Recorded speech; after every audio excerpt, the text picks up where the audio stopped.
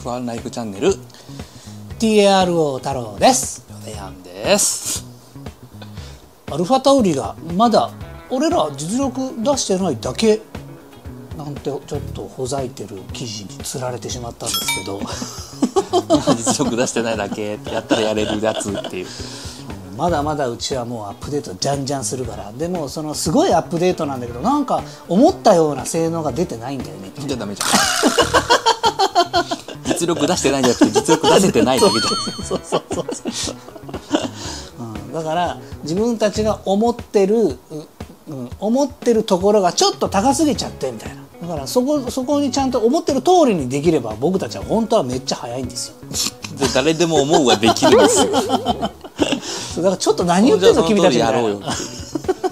あのターゲットが高すぎて達成できなかったから、達成できなかったことは悪いことじゃない。これは正しいんですよ、はいはいはいはい別に高すぎようが低すぎようがようが。結局どこまでパフォーマンスが出せて、うん。この結果アルファロメオとかアストンマーティンとか、マクラーレンと比べてアルファタウリがどこにいるかっていうと結局ここだから目標がもともと高いか低いかな低いかなんて関係ないんですよ。今出せてる性能が他より低いってことが問題なんでもともとのターゲットなんか聞いてないっていう、うん。が高かろうが関係ないという、うん、まあでもなんかちょっとそういうしあの言い訳じみたことまでね、いやまああのねテクニカルディレクターはそれはそう言わざるを得ないですよね。いや俺が悪いんす。俺が実力ないからこうなってるんすとは言えないですから、そうなったらじゃあ君クビだから。あこうこうこういうう理由で今我々は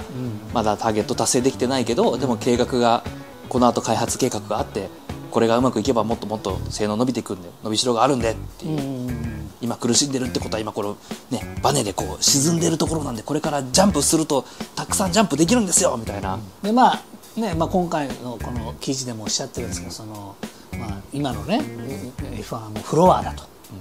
フロア開発がその空力にすごく重要で、まあ、よくフロアの話出てきますけど、まあ、裏だからちょっと見えないからよくわかんないねここっちはね、見てる人たちは。うん、だけどその、うんまだまだこのフロアには5段階も6段階もすごいのを僕らは持ってるんですよ、で今まだ1段階目なんでみたいな。うん。はよ出さんかい。そうそうそう最初から5段階6段階出でこさんかい。の間1段階目ダメだったやんみたいな。まあ、ダメじゃないし、うん。1段階目オーストラリアで入れたやつは一応性能は想定通り出ていると。いうふうには言ってます、うん、うん、ただ想定通り出てるんだけどど5段階6段階あるうちの1個目だからまだそんなにいきなりこれで全部が変わるわけじゃないよっていう言い訳なんですようでもそれは。5段階6段階が見えてるんだったらもう6段階いきなり6段階入れたらいいじゃん。なんで順番にちょっとずつやろうとするの？普通はそういうもんなんですよ。いきなりはできないんですよ、あできないんだ。6段階目が見えてても？うん6段階目、例えば2段階目これ、3段階目これ、6段階目これっていう設計図ができてるわけじゃないので、ああそういうこと？1段階目では、じゃあ、えっとまだ今のところ苦しんでいる低速コーナーの、えー侵入でリアがちょっとフラフラする症状を直しましょう、あなるほど。でつまりこれはブレーキングした時にはい。車高がちょっとリアが上がりますと、いもうあります、はい。リアが上がるってことはフロアのこの地面との空間が広くなります,、広くなると普通はここが空気抜けちゃって、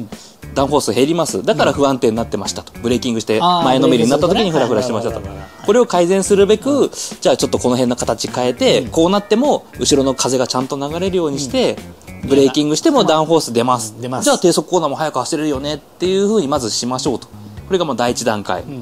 でそれプラス次第2段階どこを直すのかまあ知らないですけど、まあ、おそらく中速コーナーとかあ高速コーナーとか。ず第一段階が治ったらそれをベースに次をあこれ正しかったんだよね。うん。でじゃあここをもっと直すと今度高速域ではい。ダウンフォース出るようになるよねっていう、その低速で直したものを失わないように、それをベースにじゃあ今度は高速をってやっていかなきゃいけないから先に6段階目の理想があったとしても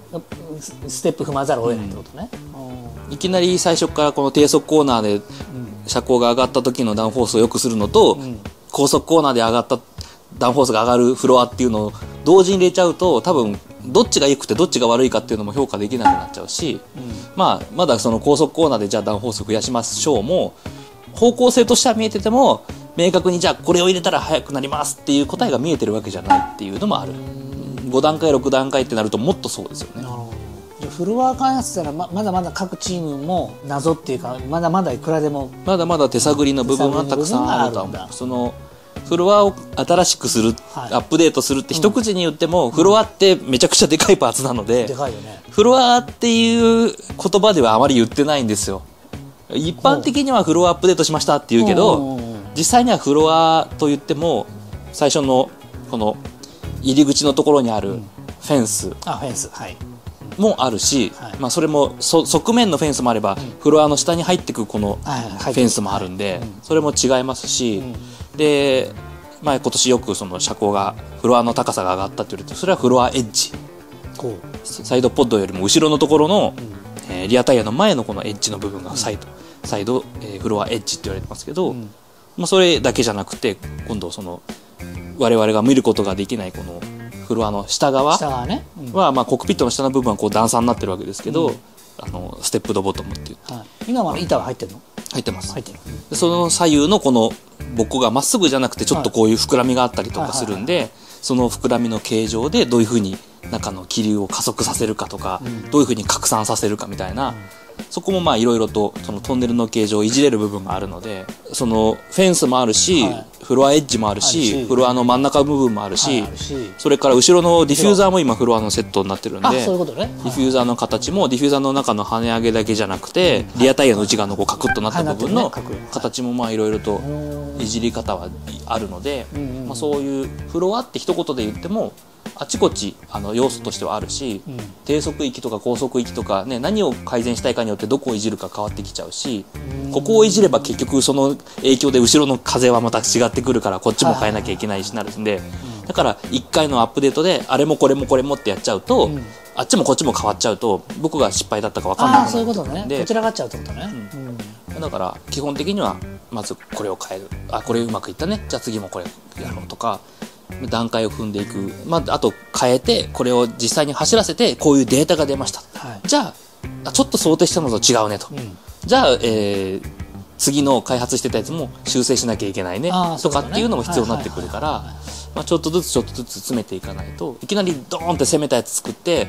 まあ、あの特に今、ね、バウンシングとかポーポシングの問題があるので、あまり攻めすぎるともう底打ちしまくって全然何ホース出ませんとかなりかねないしいうこまあいろいろとその段階踏まなきゃいけないっていうのもあるし、まあ、おそらく5段階6段階っていうのはもちろん5段階目6段階目にやりたいことは分かっていても、ん。やりたいことを実現する方法はまだ分かってない。分かってればもちろん投入すればいいだけなんで。はいはいはい。もうステップ踏むしかないってことね、だから途ゆくゆく中でうん。このあこういう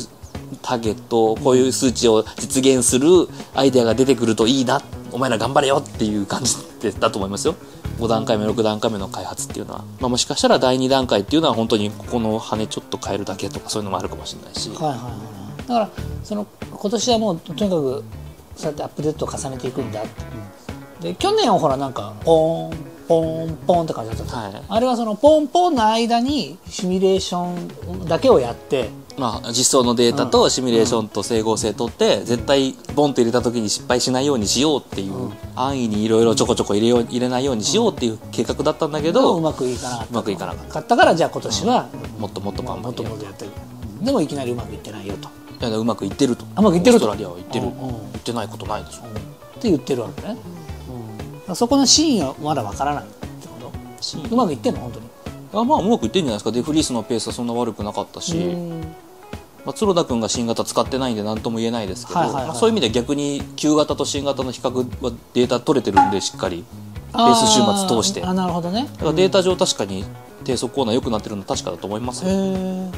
それがオーストラリアでは見えにくいけどバックーでは見えやすいと思うんで、まあ、フロアを開発すれば結局ウイングとかに頼らずダウンフォースを出せるんで、うん。そうすると空気抵抗を増やさずにダウンフォースが増やせると、まあ、つまりアルファタウリが今一番力を入れなきゃいけないところなんで、うんうんうん羽に頼らないとね、うん。まあ、ドラッグが大きいストレートが遅いって言ってるのは、まあ、基本やっぱりフロアで発生するダウンフォースが少ないって言ってるのと同じことだからなるほど。まあ、そこをどうにかしたいなっていうのが、まあ、だから主眼としてまずフロアを改善しなきゃっていうのがすごくあるんだと思いますけどね、まあ、だからそういう意味では間違ってはないとは言えますが、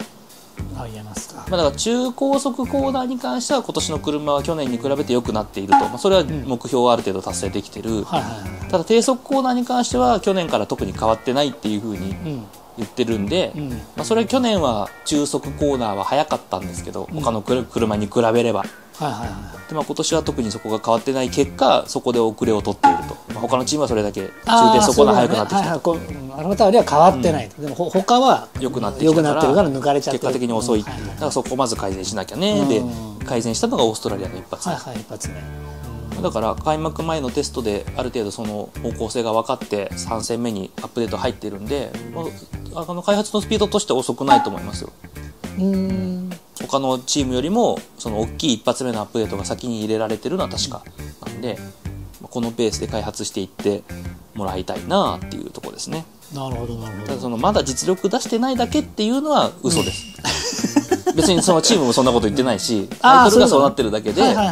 実力は今の実力なんですよだから。うんうんうん5段階目6段階目はあるって言ってもそれは計画でしかないから実力ではないですよそれは。計画ですよ。計画を出してないだけです。はいはいはいはいその計画が形にできてないのは実力がないからですから。あ実力があったら最初からその6段階目のフロア入れてますよ。だあああそういうことね、はいはいはいから今のアルファタオリの実力はその1段階目のフロア入れるっていうところが実力っていうことなんで、実力は出せるだけ出してますよ。もちろん。アルファタオリだってバカじゃないから、うんうんうんうん。その結果車としては9番目か10番目っていうことです。ああなるほどね。うんだけどこれからもどんどんどんどんアップデートは入れていくから、うん本当の実力はこうじゃないです。まだまだこれからどんどん強くなりますって言ったことがいやまだ実力出してないんだよね。っていう表現にされちまったと、うん。でそれにつられちまったと。そう明日やろうはバカ野郎ですよ。今やる今やれよっていう話で明日やれるんだったら今日やれっていう話だから。今やるすぐやるできるまでやるってやつね。これちなみに、まあ、やっぱ裏面だからさすがに裏面は本サイトでも見れないでしょ。裏面裏面シリーズみたいなフロア、まあ、時々ありますけどなかなかバッチリ映ってるのは少ないですよね。ああ少ない、うんそれでもこうベロッと見こう見えちゃったチームがあるともうそういう専門のカメラがバタバタと撮ってでそれはあのもうやっぱコースサイドで止まって釣り上げられた時が一番撮りやすいんですけど、うん。でも意外とフロア外して、あの運んでたりするよね普通に、うん、運んで裏持っていく時とか、うバカって外して、まあ、ジャッキアップっていうか馬に上げてバカって外すんですけど、外したまんまは持っていけないから、結局立てないとガレージの後ろのパーテーションとか通らないんで、フロアって、本当にでかいからねあのままの形なんで、うんあれは分割はされないから、うんだからどうしてもこう立てて持っていくからその時ブブブって取れば意外と隠さないチームもあるし、まあ、結構テストの時もねマクラーレンとかマクラーレンとかマクラーレンとかめっちゃ外してたので、うん見えてるとこもありますけど。まあだから仮にそのフロアの形に秘密があったとしてもそれまんまパクったところで、まあそのね全体のパッケージで合ってなければどうしようもないわけでしょ。そうですね。うん、ジンも、まあ、別に、まあ、見せびらかす必要もないけど、向きになって隠すこともないぐらいな感じなの、逆にめっちゃムキになって隠してたらなんかあるんだなってことになりますよね。ああいけないことがあるんだなってことね、